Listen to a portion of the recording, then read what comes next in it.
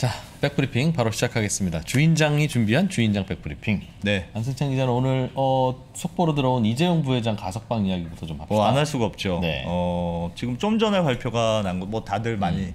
채팅창에서도 많이들 아시던데 법무부에서 하여튼 가석방 심사위원회를 오늘 열어서 원래 대상자가 1,057명이었대요. 그 중에 음. 네. 이제 800명을 이제 가석방을 결정했는데 그 중에 이재용 부회장이 들어갔다. 가석방이면 사실상 석방인 겁니까? 진짜로 가짜로 석방하고 다시 사실은 가짜로 겁니까? 석방이죠. 음. 이제 구속만 면해지는 거고 예. 여러 가지 책임들은 그대로는 가는 거예요. 그 보호 관찰도 되고 음. 뭐 그렇긴 한데 어쨌든 이제 구속 상태에서는 나온 거니까. 예. 어, 그래서 뭐 형뭐 면제를 받고 뭐 보호 관찰도 받아야 되고 여러 가지 제약은 있겠습니다만 음. 네. 어쨌든 이제 뭐 음, 갑자기 그럼 지금은 형을 살고 있는 분들하고 네. 아직 형이 확정되지 않았는데 구속돼서 있는 분들하고 네. 같이 다 그냥 가석방 시켜준 건가요? 그 중에서 뭐 제한을 아 지- 걸어서? 기준이 있어요. 기준이 있어요. 예. 이게 이제 이번에도 어, 이재용 부회장도 아, 그러니까 형, 형기 받은 형기의 60%를 채운 사람이 일단 기준이 되거든요. 예, 가석방의 기준이 됐는데 음. 이재용 부회장이 사실은 1월에 그 대법원 판결이 나오면서 2년 예. 6개월 실형을 받아서 그때 이제 법정 음. 구속이 됐는데 그 네. 전에 2017년에 특검에서 구속영장 때문에 1년 동안 구치소에 음, 어, 수감이 됐으니까 그거하고 합쳐서 합치면 보면 한, 총한 1년 1년 8개월 정도 1년 되거든요. 7, 8, 7, 8개월 됐네요. 지난달 말 기준으로 1년 8개월이 됐고 네. 60%의 기준을 이제 채운 거죠.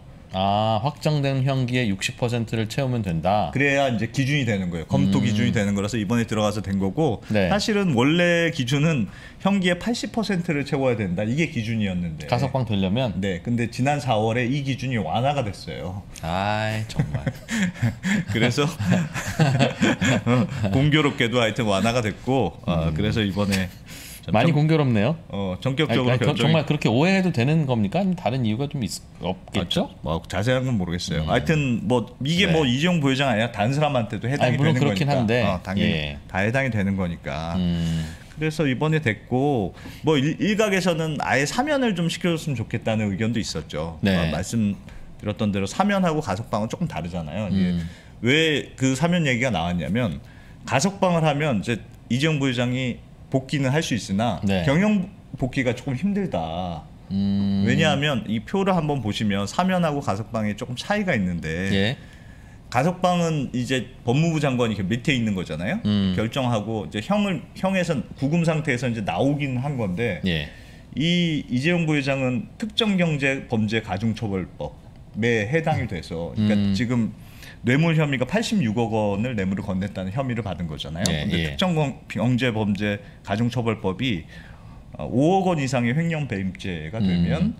그러니까 형 집행이 끝나더라도 5년간 어, 취업 제한 적용이 돼요. 그러니까 네. 이재용 부회장도 이 법의 취업 제한 음. 대상자라는 이미 통보를 받은 상태예요. 그러니까 예, 나와도 삼성에 바로 경영에 복귀하기가 음. 사실 조금 어려운 거 아니냐. 그래서 사면을 시켜주면 그건 대통령이 결정하는 거고 바로 이제 네 죄는 이제부터 없는 거다. 예, 이렇게 예. 쳐주는 거니까 경영 복귀를 위해서는 사면이 필요한 거 아니냐. 경영계에서는 이제 그런 주장도 있었는데 음, 조금 뭐 저도 찾아보니까 예, 출소 이후에 이 부회장이 만약에 이 취업 제한을 풀어달라 음. 뭐 별도로 신청할 수 있는 절차들이 있더라고요. 어, 신청을 하면 그것도 법무부 장관이 이렇게 승인을 하- 해주면 그것도 이제 풀어줄 수는 있는 어, 법적인 길은 있습니다. 현실적으로는 굳이 취업을 안 하셔도 되지 않습니까? 아니, 아니, 아니 뭐 제가 삼성 경영에 참여하려면 가- 출장도 취업을 해야 가고 되지만 굳이 뭐 어. 출장도 가고 하려면 지금 상태에서는 다시 뭐 법무부의 승인도 받아야 되고 이런저런 제약들은 있는 것 같아요. 아 출장을 가는데 이제 예, 뭐 회사 예. 돈으로 가야 가- 되거나 어, 내가 뭐 가도 되겠습니까? 거면 이런 거다 해야 되니까 아, 그런 부분은- 불편함이 있고 부분이 있, 수 있, 네. 그래서 예. 다들 뭐 내일이면 이게 뭐 공정하냐 아니냐를 떠나서 워낙 예. 삼성전자 주주분들이 많으니까요. 음. 지금 뭐 500만 명 개인 주주만 500만 명이라고 하잖아요. 네. 그러면 음. 뭐 거의 국민 10명 중 한 명이 삼성전자 주주니까. 네.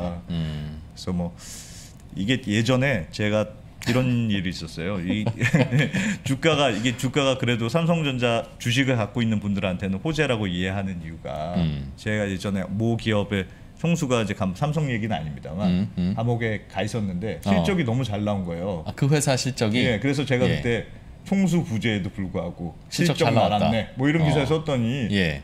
엄청난 항의 전화를 받았거든요. 어디서 어디서 왜? 그 왜? 회사 홍보팀에서 회사 홍보팀이 어, 네가 나 우리를 죽일 일이냐면서 지금 회장님 나오셔야 되는데 회사가 잘 된다 그러면 그게 말이 아, 되느냐. 오너 회장이 지금 수감돼 있는데 어. 실적이 잘 나왔다고 쓰면 네. 뭐 회장님 없어도 이 회사는 잘 돌아가네. 그런 그런 식으로 되면 안 되니까. 되니까. 근데 사실은 어, 회사 총수가 들어가면 실적이 일반적으로 좋아져요. 예. 왜냐하면 투자 결정을 아무래도 덜 하게 되잖아요. 음. 중요한 큰 돈이 들어가는 투자 결정은 총수가 없으니까 예. 투자 결정이 사- 상대적으로 보수적일 수밖에 없고 음. 그러면 뭐 당연히 그게 이익으로 갈 수 있으니까. 아 그래서 투자를 그래서 덜 하니까. 일반적으로는 이익이 좋아지는 구조예요. 그래서 네, 예. 오히려 주가 올라가는 구도도 있는데 삼성전자의 경우에는 음. 지금 뭐 인텔이라든가 워- 워낙 국제적으로 지금 반도체 전쟁이 일어나고 있는데 예. 뭔가 미래를 위한 액션이 너무 음. 안 보인다는 그런 지적들이 좀 있었거든요. 음. 그래서 그런 거에 대한 기대감이 좀 나오지 않겠느냐 뭐 그런 음, 예상들이 있는 것 같습니다. 음, 그래서 뭐 그거야 뭐. 음. 질문 또 드려볼까? 개인적으로 어떻게 생각하세요? 이 가속방에 개인적으로요? 대해서. 모르겠습니다. 자, 이제 어떻게 아, 대답해도 음, 어떻게 대답해도 욕 먹을 것 같은. 음. 아, 글쎄요. 저는 4월에 규정 바꾼 건 좀 공교로운 것 같네요. 잘은 모르지만. 예, 음. 예, 예. 근데 이렇게까지 하면서 뭐 석방을 해야 되는 문제라면 네. 그러면 뭐 지금 그러니까 아, 형을 사는 거죠? 구속을 한 게 아니라 네. 형을 살고 있는 거죠. 네. 어쨌든 이제 그거야 뭐 대법원이 판단한 거- 뭐 법원이 판단한 거니까. 음. 근데 뭐 조금 하여튼 여론은 그나마 예전보다는 조금은 더 필요하다는 의견들은 조금 더 있었던 것 같은데 음. 모르겠습니다. 뭐 하여튼 뭐 나오, 나오 게 됐다고 합니다. 예. 13일 날 오전 10시에 에, 출소를 하게 된다. 어, 광복절 기념 가석방입니까? 광복절 기념 광복절 특사죠. 아. 근데 이제 광복절이 일요일이잖아요. 네, 예. 그러니까 일요일 날 나오긴 그러니까 그 전에 당겨서 음. 평일인 금요일 날 오전 10시. 하는 걸로. 그게 이제 13일 날 오전 10시죠. 음. 이것도 가석방도 네. 그 예를 들면 그럼 어느 정도 형기가 되면 어 뭐 하는 걸로 네. 아예 그냥 뭐 이렇게 하든가 아예, 아예 심사하지 말고. 그걸 뭘로 심사합니까? 아니, 심사하는 기준이 있긴 있어요. 네, 저도 예. 물어보니까 그걸? 음. 심사하는 기준을 한번 읽어드리면 예. 어, 수용자의 죄명, 음. 범죄 동기 및 내용, 네. 범죄 횟수, 형기, 교정 성적, 재발 위험성 등을 종합적으로 고려한다. 이렇게 돼 있어요. 음. 결국 종합적으로 고려 고려한다는 뜻인데 어쨌든 거기서 모범수로 좀 돼야 되고 음. 뭐뭐 그런 것 범죄 횟수가 아주 반복적이면 안 되고 뭐 음. 그런 그런 것들이 있죠. 그런 것 할 게 있으면 판결할 때 판결할 때 감안해서 형을 주든가 네. 음. 예를 들면 형, 뭐 범죄 내용이 좀 까리한데 싶으면 뭐 그렇게 하면 되는 걸 음. 교정 과정에서 교정 당국이 판단해서 형을 줄이고 그러는 게 네. 어, 모르겠습니다. 어. 아무튼 그 날짜 모자라는 분은 다음에 언제예요 그러면 추석인가요? 다음 광복절인가요? 1년에 한 번 하나? 모르겠습니다. 음. 아 그것 그 모르겠습니다. 아, 질문하는 입장이라서 매우 즐겁습니다. 네. 다른 뉴스 하나 좀 보죠. 네, 아 요거는 외신에 나온 기사인데 굉장히 흥미로운 기사던데 제- 저희가 요즘 탄소 관련해서 이제 말씀 많이 드리는데 네. 이제 엑소모빌이라는 미국의 이제 최대 저- 석유 회사잖아요. 음. 근데 이제 월스트리트 저널에 나온 내용인데 이제 2050년까지 탄소 제로를 달성하는 방안을 마련 중이다. 네. 이런 이제 보도가 하나 나왔어요. 석유 회사가 네, 예. 근데 이게 요즘 뭐 탄소 제로 선언하는 회사들이 워낙 많습니다만 음. 석유 회사가 탄소 제로를 한다는 거 이게 보통 일이 아니잖아요. 네. 그 영으로 하려면 뭐 소, 석유 다 팔아야 되고 음, 음. 아니면 그게 좀 남으면은 신재생으로 엄청나게 투자를 하거나 뭐 음. 탄소를 줄이는 소- 설비 투자를 엄청나게 해야 된다는 뜻인데 네. 이 엑슨모빌이 재밌는 이유가 엑슨모빌의 이 CEO가 원래는 음. 누가 이렇게 뭐 석유 회사들이 그런 선언할 때 말도 안 되는 소리 하지 마라. 네. 굉장히 부정적인 입장의 대표적인 회사였어요. 엑슨모빌이. 아, 탈 탈석유, 탈탄소 뭐 이런 거에 대해서 음. 그 우리가 그 말이 되냐? 우리가 그걸 영을 어떻게 하냐? 이런 분위기였는데 음. 이 회사가 갑자기 분위기가 바뀐 이유가 뭐냐면 지난 3월에 한 엔진 넘버원이라는 헤지 펀드가 한 명 있어요. 헤지펀드 이름이 엔진 넘버원. 엔진 넘버원이에요. 이 음. 헤지 펀드가 아, 이 엑슨모빌의 지분을 샀는데 이 헤지 펀드가 사실 그렇게 큰 데가 아니거든요. 작년에 생긴 거고 전체 자산이 2억 5천만 달러니까 뭐 몇천억 정도밖에 안 되잖아요. 음. 예. 근데 여기가 엑슨모빌의 지분을 0.02%를 샀어요. 음, 그게 얼마 안 되잖아요. 네. 근데 이걸 산 다음에 엑슨 모빌을 바꿔야 된다. 그리고 대대적인 캠페인을 벌였어요. 이 펀드가. 음. 네. 그래서 이 그림을 한번 보시면 얘네가 한 표어인데 time to it's time to re-energize 엑손이에요. 음. 엑손을 다시 에너지를 넣어. 아, 저 무슨 광고 같네요.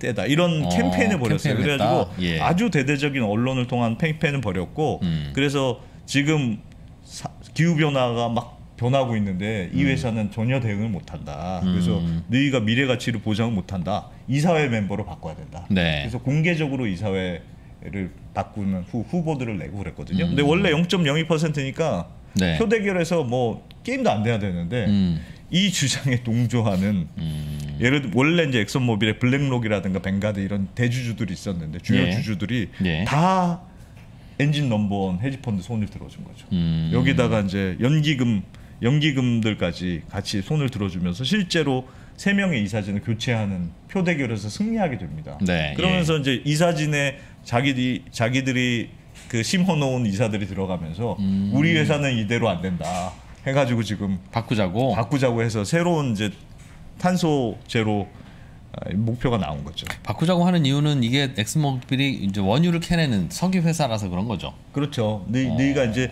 석유만 해가지고 이제 이, 이 헤지펀드의 논리는 너희가 음. 석유만 해가지고 지금 앞으로 예. 이 변화를 따라잡지 못한다는 음. 논리인데 네. 실제로 이게 완전히 그냥 그냥 시민단체들 같은 주장이라고 보기가 어려운 게 네. 왜냐하면 뭐 국제적으로도 이런 흐름이 있습니다만 미국 내에서 지금 탄소세 도입하려는 움직임이 굉장히 구체적으로 일어나고 있어요. 예. 그러니까 뉴욕 타임즈가 최근에 보도한 거 보면 민주당에서 이 정유회사처럼 탄소 많이 배출하는 기업들을 상대로 탄소세를 매기겠다. 음. 매기겠다. 이런 법안이 지금 준비 중에 있거든요. 그러니까 보도된 거 보면 어마어마합니다. 그 공개 법안을 보면 음. 지난 20년간 미국에서 만약에 전체 온실가스 중에 0.05% 이상 예. 탄소 배출을 한 기업은 탄소세 대상이다. 그래서 최대 그런 기업들은 뭐 엑슨모빌, 세브론 뭐 이런 그 정유회사들 당연히 들어갈 거 아니겠어요? 음. 그 회사들이 한 20개, 30개 정도 대상이 될 걸로 예상이 예, 되는데 예, 예. 대상 기업이 되면 기업당 최대 60억 달러, 음. 우리 돈으로 한 6조 원 정도의 탄소세를 부과될 가능성이 있거든요. 예. 그러면 이 법안 내용에 너무 부담이 되면 우리가 10년 분납해주겠다는 내용도 들어있으니까 음. 예. 그러니까 이게 어마어마한 이게 굉장히 지난번에도 한- 지금 미국에서 이게 통일된 탄소 거래 제도가 없잖아요. 탄소 예, 배출권 그렇죠. 거래소가 예. 없, 없는데 예. 음. 탄소 국경세를 도입하려고 하니까 그러면 탄소 국경세에 앞서서 탄소세를 먼저 도입하고 그리고 탄소 국경세를 도입한다는 예상도 굉장히 많아요. 그러니까 아, 그러니까 거래 배출권을 당장 만들지 못하면 최소한 우리 내부에서는 탄소세라는 것도 걷고 있습니다. 그렇게 그래서 미국은 아예 탄소세도 아직 없 다는 거죠? 없어요. 아직 없습니다. 그러니까 뭔가 우리의 기준을 정해놓고 이 정도보다 더 더럽게 만들면 네. 그 더러운 만큼 세금을 내는 거는 탄소세. 그렇죠. 우리끼리 하는 거. 네. 남들이 만들어서 넘어오는 녀석이 있으면 그 녀석도 같은 국경세. 기준으로 어. 재, 재서 니네도 그렇죠. 더럽네. 그러면 우리 기준에 맞춰서 딱 또 세금을 물리는 거. 이건 탄소 타- 국경세. 그렇죠. 탄소 국경세를 하려면 뭔가 예. 기준을 만들어야 될 거 아니에요. 그게 음. 탄소 배출권제를 만들든지 음. 아니면 탄소세 같은 걸 만들든지 예. 뭔가 기준이 있어야 거기에 대해서 국정을 그렇다. 넘어오는 걸 해주니까 그렇게 생각하면 이런 주장이 뭐 이런 정유회사 같은 음. 데들이 아, 뭐 변화가 불가피한 것 같기도 하고 예. 국제적으로 뭐 하여튼 요즘 변화가 아주 심상치가 않거든요. 음. 우리나라도 뭐 여기는 그 위기에서 뭐 잘- 유전 파내고 난 나머지 그 파내고 나면 이만큼 구멍 생기잖아요 땅에 네, 네. 거기에다가 탄소를 포집해서 집어넣는 방식으로 음. 어, 우리가 내뱉은 탄소 우리가 다시 갖고 오면 이만큼 빼줘야 되는 거죠 뭐 네. 이렇게 해서 한다고 하더군요 아 그렇게요. 네 그러니까 이거 무슨 탄소 포집 뭐 관련된 기술을 굉장히 개발을 많이 한다고 하더라고요. 음. 어쨌든 예를 들면 석유 정유 사업을 완전히 접지 않는 이상은 음. 거기서 나오는 만큼 뭔가도 추가로 우리가 줄인다는 네, 노력을 해야 뽑아내면 아니에요. 되는데 네. 실제로 우리가 그 탄소 배출을 덜 하는 건 되게 어렵죠 그렇죠. 어렵죠 뭐 먹고 그냥 가만 숨만 쉬어도 어, 탄소는 그렇죠. 나, 나오니까요. 그러니까 그거를 그냥 배출은 최대한 아껴서 하지만 하고 음, 한 거를 다시 이렇게 가져온다. 가져오는 거. 어. 어.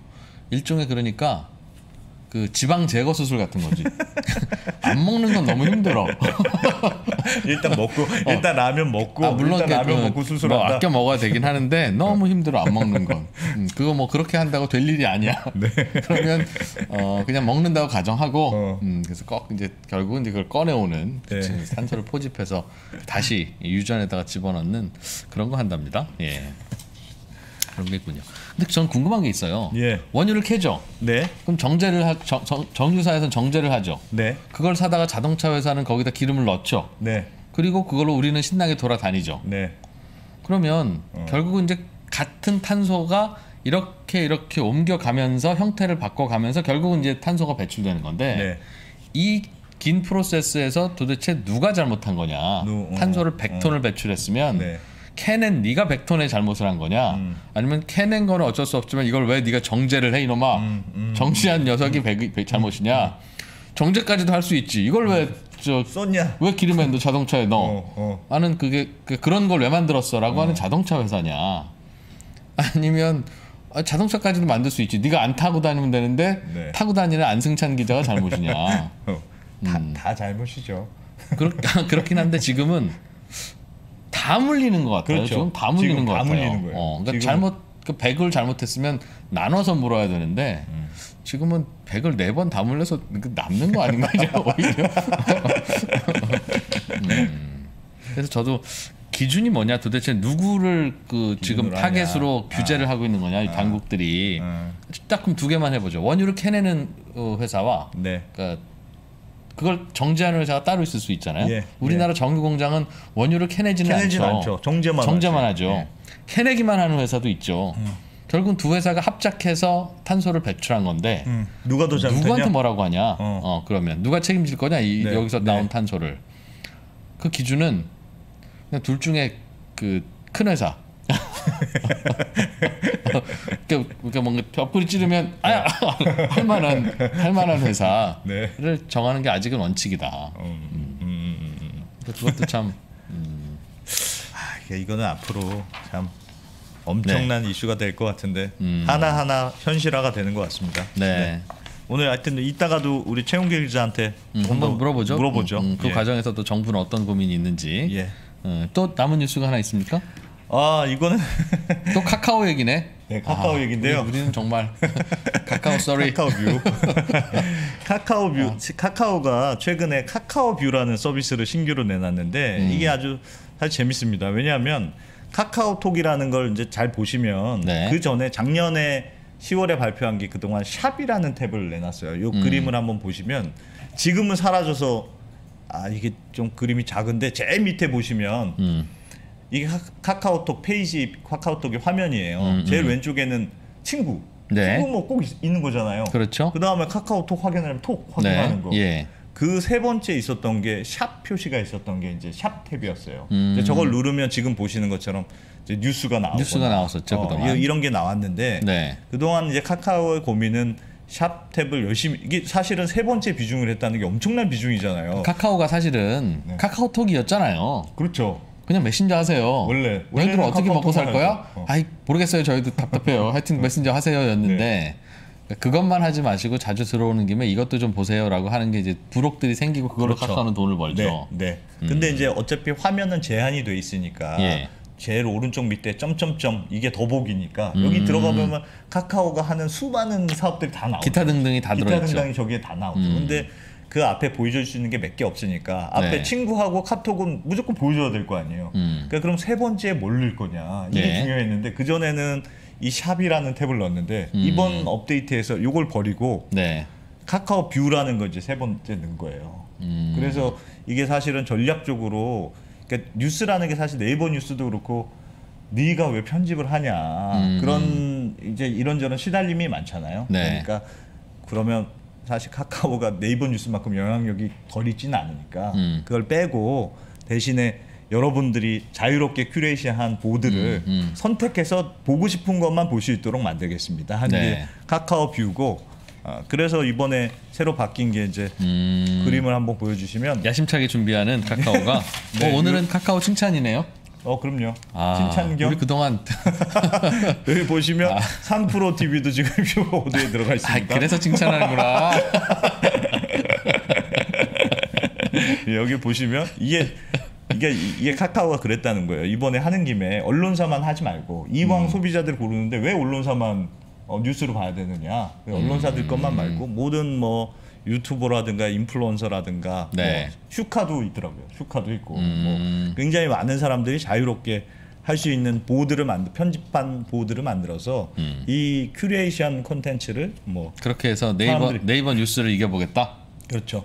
한번 뭐 이겨지려나? 해보겠다는 건데 네. 글쎄요, 뭐 지금은 뭐 저희 것도 음. 많이 눌러주시면 저희가 많이 보이- 보이긴 할 것 같습니다. 아, 우리도? 3프로 어. TV 아직 많이 안 봅니다. 그래서 뷰에 들어가서 3프로 TV 검색합니까? 저기 검색에 들어가서 아. 3프로 TV 누른 다음에 구독 이렇게 누르셔야 됩니다. 우리도 하니까 카카오 이겨라. 지금 뭐 워낙 너무 많아서 좀 어지럽다는 분들이 사실 많더라고요. 지금 반응은. 근데 지금 어쨌든 curation이라든가 이렇게 네. 전체적으로 콘텐츠의 소비가 구독 중심으로 가는 방향을 한번 해보겠다는 게 이제 카카오의 생각인데 네. 어, 뭐 잘 될지 모르겠습니다. 우리 우리 구독자들은 이미 많이 보고 있고 네. 그러니 사실은 저기 가서 보시든 뭐 여기서 보시든 큰 차이는 없으나 카카오는 카카오 뷰는 알고 3프로 TV는 아직 모르는 분들은 카카오 뷰를 통해서 저희를 또 알 수도 있겠네요. 음, 그럼 그럼요. 또 매일 또 백브리핑 보러 오실 거고. 사실은 3프로 TV를. 알고 나면 네. 백브리핑 말고는 볼 게 별로 없어 사실. 아니 솔직히 어, 어. 부끄럽습니다. 약간 오늘. 어, 저희가 대표 상품이거든요. 네. 네. 그래서 뭐 그러니까 또 많이 또 늘어나겠네요. 많이 눌러 주십시오. 어, 많이 네. 또 늘어나면 또 우리 이프로는 이제 점점 기고만장해서 네. 또 오늘- 인사도 안 하고 오늘 아침에 나온 권순우 기자 사진을 대문짝만하게 넣어놨습니다. 음, 그렇군요. 카카오 뷰 어, 흥해라. 알겠습니다. 자 잠시 후에 일당백 인터뷰로 이어지겠습니다. 이데일리의 최훈길 기자를 인터뷰를 좀 해서 요즘 환경 문제, 탄소 문제에 관한 우리 정부의 어, 속 깊은 고민이 뭔지 좀 캐 물어보겠습니다. 정부 관계자를 사실은 모셔다가 들어야 되는데 음, 멀다고 잘 안 오고 어, 아직은 뭐 백브리핑 뭐냐 뭐 이렇게 묻고 네, 네. 어, 그런 모양입니다. 어디 두고 보시라고요. 잠시 후에 일당백 인터뷰 이어가겠습니다. 코로나19 백신 1차 누적 접종자가 오늘 오전에 천만 명을 돌파했습니다. 9월까지 모두 2,300만 명이 접종을 끝내야 하는데 이 접종 속도는 더 빨라질 것으로 보입니다. 1920년대가 떠올려지는 지금의 모습. 코로나 이후의 시대. 우리는 어디에 투자를 해야 할까? 3프로TV 주식대학 여름학기. 리서치 명가 메리츠 증권 이경수 사단의 최고 애널리스트들과 함께 필기하며 공부하는 하반기 투자 전략과 업종별 시장 전망. 여러분의 하반기 수익률을 책임질 총 24강의 투자 전략. 페이지 2 앱에서 확인해 보세요.